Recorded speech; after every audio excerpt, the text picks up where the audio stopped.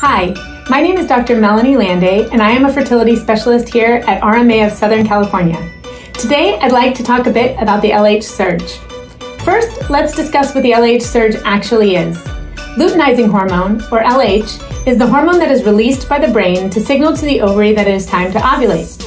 It is produced at a very low level throughout the menstrual cycle, but once an egg grows large enough and the ovary has produced a large amount of estrogen, the brain increases the amount of LH it makes until it peaks or surges, signaling to the ovary that it is time to ovulate. This makes the LH surge a very important thing to watch for because ovulation occurs about 36 to 48 hours after the LH levels rise.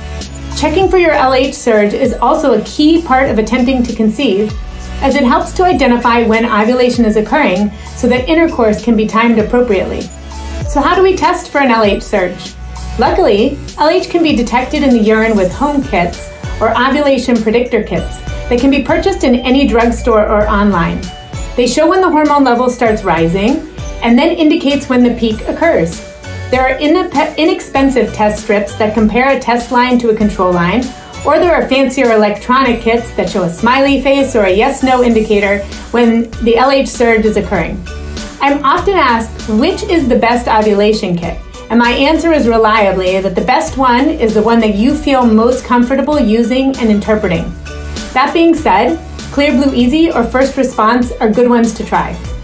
You should start testing approximately three to four days before ovulation is expected and continue until you detect a surge or until approximately cycle day 20, whichever comes first.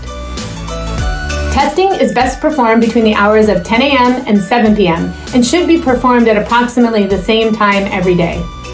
I also recommend that patients decrease the amount of liquid that they are drinking for approximately two hours before they take the test so as to not dilute the hormone in the urine. Once you get a peak or a positive surge, you do not need to continue testing. Ovulation will occur about 24 to 36 hours after you see your positive, and the egg lives for only 24 hours after ovulation happens. So, this is the optimal time to have timed intercourse to try and conceive.